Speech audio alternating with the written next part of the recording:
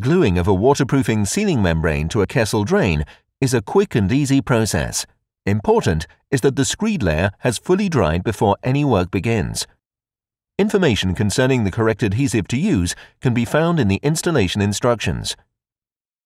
First, wipe the drain flange clean with a moist rag to assure any dust or debris has been removed. Before applying the adhesive, the first few squeezes of adhesive should be thrown away. Only use the adhesive when a uniform color is seen.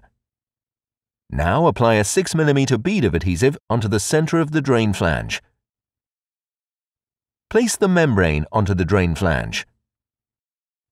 With a flat trowel, evenly press around the entire membrane to assure a uniform spreading of the adhesive. After a drying time of 45 minutes, waterproofing work on the drain can continue. Please follow all manufacturer's instructions for the waterproofing system being used.